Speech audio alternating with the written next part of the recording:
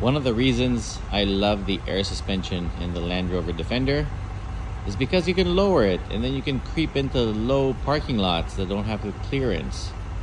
Because clearance is important. If you don't have the clearance, it'll be a very expensive bill. But this, this is awesome, man. Love it.